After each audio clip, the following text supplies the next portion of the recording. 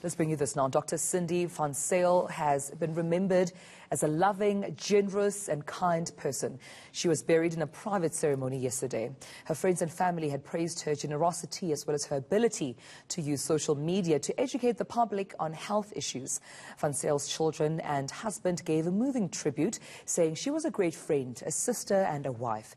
She died on Saturday due to COVID 19 related complications, this after spending several weeks in an intensive care unit. What makes Sindi so special?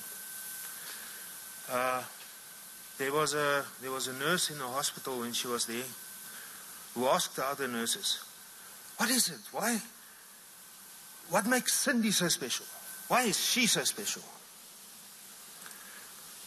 Well, Sindi, um, what makes Sindi special is the love she has for people, for many, many people, all people.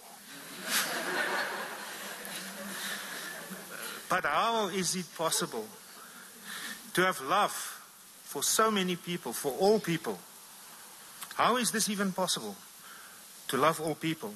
We are not perfect, and Sindi was not perfect. So, it is possible because of Jesus.